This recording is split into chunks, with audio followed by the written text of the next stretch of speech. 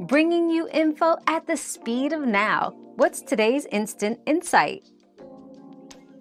Chanting Om Namah Shivaya can offer several scientific benefits such as reduced stress, improved concentration, and enhanced mental clarity. This is attributed to the rhythmic and vibrational nature of the chant, which can stimulate the parasympathetic nervous system, leading to a calmer state of mind. Additionally, the repetitive sound can help to reduce cortisol levels and promote a sense of inner peace and well-being.